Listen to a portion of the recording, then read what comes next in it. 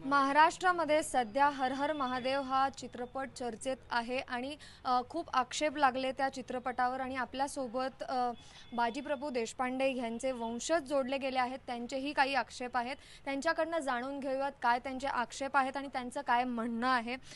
तुम्ही तुमचं नाव सांगा आणि तुमचे काय आक्षेप आहेत हेही आम्हाला सांगा. माझं नाव प्राध्यापक रुपाली देशपांडे.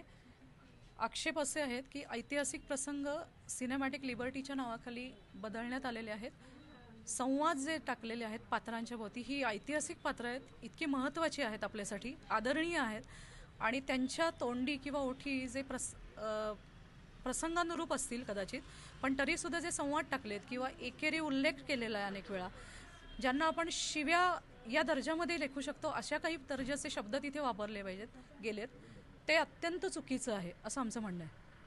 ह्यांच्याकडनंही जाणून घेऊयात हे त्यांच्या गावातील शिंद इकडे राहतात. तुमचं काय म्हणणं आहे हे सांगा. की ते जे प्रसंग आहेत त्यातलं एकही शूटिंग त्यांनी चित्रीकरण जे केलेलं आहे ते सिंध गावामध्ये केलेलं नाही आहे आणि त्याची आम्हाला कल्पनासुद्धा नाही दिलेली. तर ती कल्पना द्यायला पाहिजे होती त्यावेळेला असे काय सीन्स आहेत जे तुम्हाला खटकले आणि त्यावर तुम्ही हा आक्षेप घ्यायचं ठरवलं? उदाहरणार्थ बाजीप्रभू देशपांडे आणि फुलाजी देशपांडे हे दोघं सख्खे भाऊ आहेत. परंतु चित्रपटामध्ये असं दाखवलं की त्यांचं लहानपणी दोघांमध्ये मतभेद झालेले आहेत. फुलाजी देशपांड्यांनी बाजीप्रभू देशपांड्यांचा विश्वासघात गेलेला आहे. अशातून फुलाजी देशपांड्यांची प्रतिभा कुठंतरी डागाळलेली आम्हाला या चित्रपटातून पाहायला मिळाली. तर हे दोघंही शौर्य योद्धे होते लोहपुरुष होते. यांचा इतिहास समाजामध्ये चुकीच्या माध्यमातून जायला नको म्हणून आम्ही हा निषेध व्यक्त करत आहोत.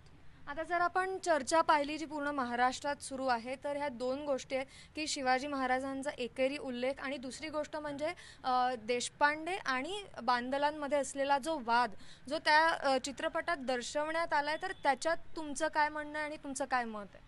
मला वाटतं बांदल आणि देशपांडे यांच्यामध्ये पूर्वीही कोणताही वाद नव्हता. जसा दाखवण्यात आलाय. आणि आत्ताही कोणताही वाद नाहीये. अत्यंत एकोप्याने कारण पराक्रमाचा इतिहास हा बांदल सैन्य आणि बाजीप्रभू देशपांडे फुलाजी प्रभू देशपांडे यांचा आहे. त्यामुळे अशा पद्धतीचं चित्रपटामधनं त्यांचं जर दाखवण्यात आलं असेल तर हे खूप चुकीचं आहे आणि हे दुर्दैवी आहे खूप. कुठंतरी डागाळलेली आम्हाला. मगाशी तुम्ही मंदिरांचा पण उल्लेख केला ते काय आहे आम्हाला सांगा. अ, मंदिरं बांधण्यासाठी गवंडी हवाय पण खराब ग काम करणारा गवंडी हवाय असा उल्लेख आहे त्याच्यामध्ये. हे खटकतं अतिशय. अशा पद्धतीने मंदिर बांधणं बांधणं इतकं सोपं नाही आहे इतक्या थोड्या वेळामध्ये. आणि त्यामुळे जे खरं आहे की त्यांनी किल्ला बांधायला घेतलेला होता तर ते दाखवलं असतं तर त्यांनी असाही प्रसंगामध्ये काही वेगळा फरक पडणार नव्हता. आणि तो ऐतिहासिक संदर्भाचा होता.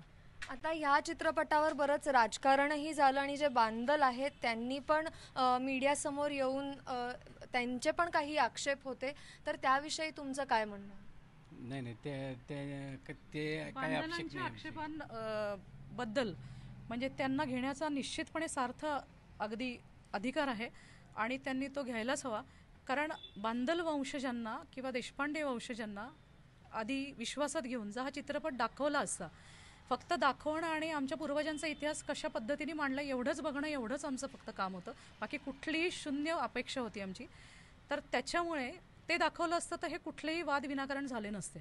यावर जे राजकारण झालं त्यावर तुमचं काय म्हणणं आहे? राजकारणासंदर्भात आम्हाला काहीही बोलायचं नाही आहे आमचं आमचे जे पूर्वज आहेत त्यांच्या शौर्यावर त्यांच्या इतिहासावर ज्या चुकीच्या गोष्टी दाखवलेल्या आहेत त्याच्यावरती आमचा आक्षेप आहे. आम्हाला राजकारणाविषयी बोलायचं नाही आहे ह्याच्यामध्ये जर सुधारणा घडवल्या आणि बाजीप्रभूंचं फुलाजी देशपांड्यांचा इतिहास पुन्हा समाजाच्या समोर आणला तर नक्कीच आमचा ह्या चित्रपटाला पाठिंबा आहे. ह्यापुढे काय? कारण ऑलरेडी हा चित्रपट थिएटर्समध्ये आहे खूप लोक बघत आहे.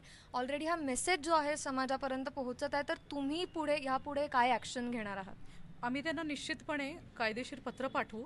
आणि दुर्दैव हेच आहे की हा चित्रपट पाच भाषांमध्ये प्रदर्शित झालेला आहे हिंदीमध्ये झालेला आहे त्यामुळे तो अनेक माध्यमांमधून लोकांपर्यंत पोचला आहे.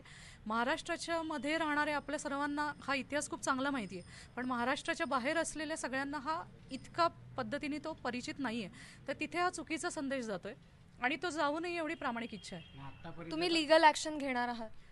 आम्ही सुरुवातीला खूप छान पद्धतीने पत्रव्यवहार करून त्यांच्याशी बोलू. अजूनही आमची तयारी आहे बोलण्याची. आणि नाईलाजच झाला तरच मात्र पुढे जाऊ. तुम्ही पण आहे की महाराष्ट्रात सध्या हर हर महादेव हा चित्रपट चर्चेत आहे बरेच आक्षेप लागले. आणि आता बाजी प्रभू देशपांडे यांचा जो परिवार आहे त्यांचे जे वंशज आहे त्यांनीही काही आक्षेप घेतलेले आहेत. बांदल आणि देशपांडे यांच्यातले संबंध दाखवलेले वाद हे कुठे ना कुठे खटकलेले आहेत. आणि पूर्ण आपण जर एक कॅरेक्टर पाहिलं तर त्याच्यावरही इकडे प्रश्न उचलला गेला आहे. ह्यांचं म्हणणं हे आहे की आम्ही पत्रव्यवहार करू पण त्यांनी जर निकाल आला नाही तर आम्ही लिगल ॲक्शन घेण्याकरता पण तयार आहोत. स्वराली पुण्याहून टाइम्स नाव मराठी करता.